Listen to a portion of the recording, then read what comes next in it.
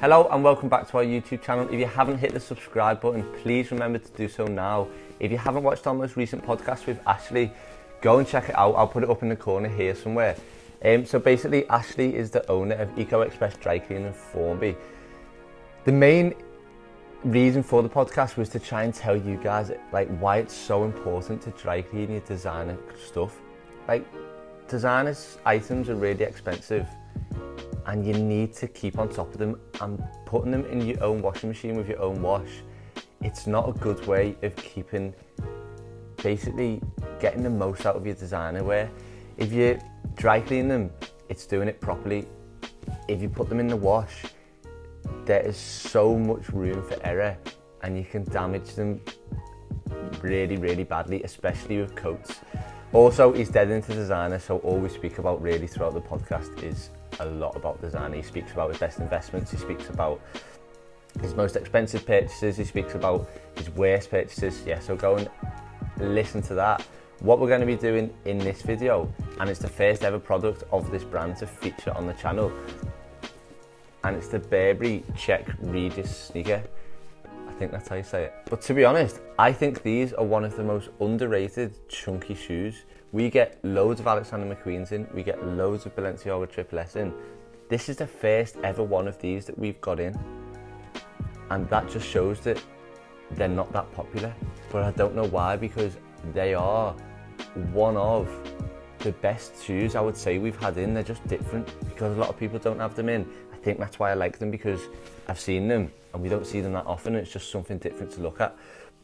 But anyway, onto the review of the shoe. We'll start with the midsole, just because that's where I always like to start. And it's got this big, thick, chunky rubber midsole, and it's two and a half inches, so it's a little bit smaller than your Triple S, but a little bit bigger than your Alexander McQueen. It's made, like I said, of this rubber, so the good thing about this is if you're scared of getting them dirty, don't be. Because it's a rubber, it easily wipes off, so even if you do get it dirty, it's fine. Flipping it onto the outer sole, you've got Burberry branding on the back. You've got three different sections, I would say. You've got the heel, and then it breaks off to the center, and then you've got this front bit. Moving on to the upper, it's 99% cotton and 1% leather, and it's in the Burberry print. But the cool thing I like about this is that they can differ. So you could have the exact same shoe as someone, so someone else could have this shoe, but it wouldn't be the same print. And I really like that because similar to the Valentino camo prints, that's the same. No one has the exact same print as each other, so it's. I reckon it's cool the way you can have the exact same shoe as someone, but it wouldn't be the exact same shoe if you get what I mean. Something that's very different on this shoe is the strap.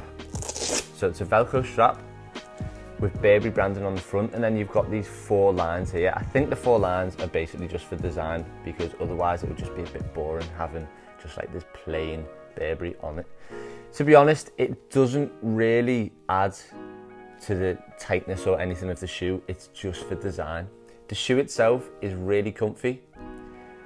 I would recommend going down a full size. They used to be, when they first came out about two years ago, £430, but as designer shoes get a bit more popular, the prices of them do tend to rise. And now they are £490. They're basically the middle shoe from the Alexander McQueen to the Balenciaga Triple S.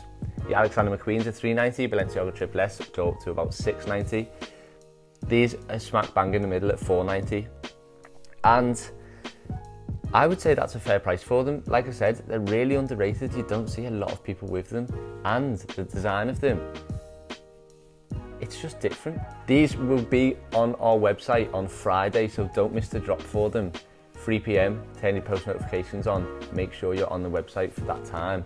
Let me know in the comment section what you think of these. Like I said, they're really different. They're not majorly pricey. There's just something about this shoe that I really like. Remember to hit that subscribe button. We'll be back really soon with another review and I'll see you next time.